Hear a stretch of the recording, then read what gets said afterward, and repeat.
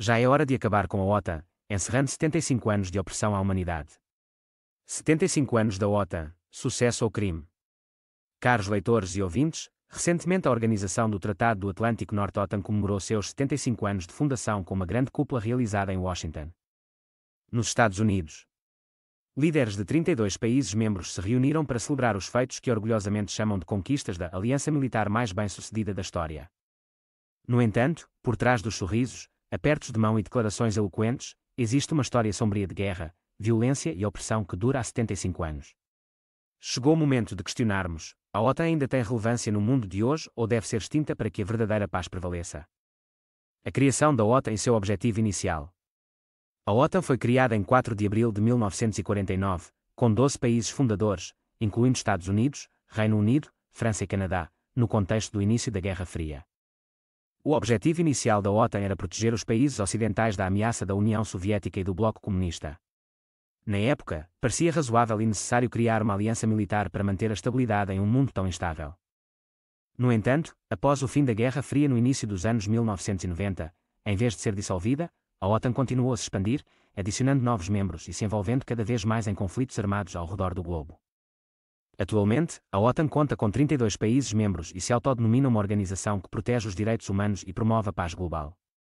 No entanto, ao longo dos inúmeros conflitos nos quais a OTAN se envolveu, essas declarações parecem ser apenas a superfície, ocultando as ações militares devastadoras que a organização causou. A Iugoslávia, a guerra que iniciou as intervenções militares da OTAN. Um dos eventos mais chocantes e marcantes na história da OTAN foi o bombardeio de 78 dias na Iugoslávia, em 1999 sob o pretexto de proteger os albaneses e kosovares da limpeza étnica. A OTAN conduziu uma campanha militar sem a aprovação da ONU. O resultado foi a morte de mais de 2.500 civis, milhares de feridos e a destruição de inúmeras infraestruturas. Áreas densamente povoadas foram transformadas em ruínas, deixando um legado de dor e caos na região.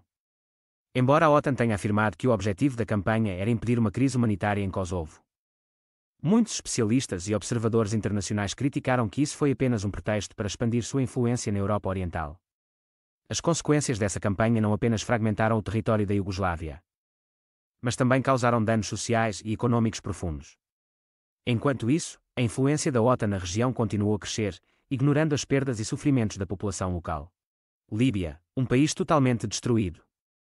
Após a intervenção na Iugoslávia, a OTAN voltou a intervir militarmente na Líbia, em 2011, desta vez sob o pretexto de proteger os civis do regime ditatorial de Muammar Gaddafi.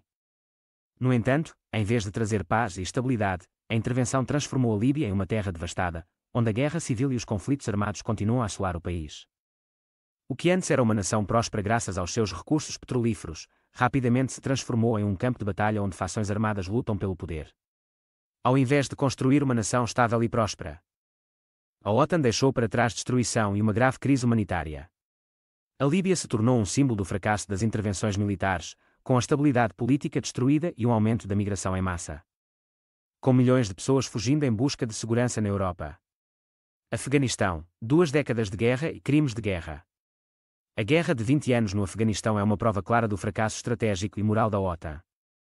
Sob o comando dos Estados Unidos, a OTAN conduziu campanhas militares com o objetivo inicial de combater o terrorismo e trazer estabilidade à região. No entanto, o que se viu na realidade foi destruição. Pobreza e violência prolongada. Mais de 47 mil civis afegãos perderam suas vidas nesse conflito, milhares de vilarejos e cidades foram arrasados, e a infraestrutura nacional foi totalmente destruída. Bombardeios indiscriminados e operações militares descontroladas resultaram na morte de inúmeros civis inocentes. Apesar de inúmeros relatórios sobre crimes de guerra cometidos pela OTAN, a aliança continuou a encobrir a verdade, sem assumir sua responsabilidade. Em 2010, a organização Wikileaks divulgou mais de 91 mil documentos militares secretos, revelando uma série de assassinatos de civis que haviam sido deliberadamente escondidos nos relatórios oficiais dos Estados Unidos e da OTAN. Esses documentos chocaram o mundo e expuseram o horror que o povo afegão teve de suportar durante todo o período da guerra. Ucrânia, a mão invisível da OTAN. Hoje, a OTAN não se limita apenas às intervenções militares na Iugoslávia. Líbia ou Afeganistão, mas também desempenha um papel central no conflito entre a Ucrânia e a Rússia. Desde o início da guerra, a OTAN prometeu apoiar a Ucrânia, abrindo a porta para a adesão do país à aliança e comprometendo-se a ajudar Kiev contra Moscou. No entanto, na prática, a OTAN não participa diretamente da luta, mas fornece armas e apoio financeiro à Ucrânia. Em vez de proteger a Ucrânia, como prometido, a OTAN parece estar usando o país como uma peça estratégica no confronto geopolítico com a Rússia. Enquanto a Ucrânia sofre perdas significativas em termos de vidas humanas e território. A OTAN observa à distância, usando a nação como escudo para enfraquecer a Rússia. Isso demonstra que o verdadeiro objetivo da OTAN não é proteger a Ucrânia, mas sim impedir que a Rússia expanda sua influência. Conclusão: chegou a hora de acabar com a OTAN. Após 75 anos de existência, a OTAN deixou de ser uma defensora da paz e dos direitos humanos, como alegava, para se tornar uma máquina militar poderosa.